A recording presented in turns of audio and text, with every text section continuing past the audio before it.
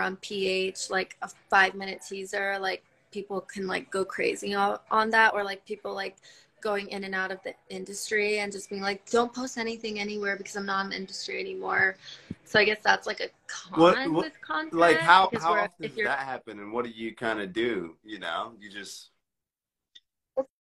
happened a few times and i think all you can really do is like for the most part is just respect it because you don't want to have a bad name per se like you kind of have to respect it in a way but what we do to try to like get away from like not get away but like avoid that situation is we're just very clear up front just being very upfront about like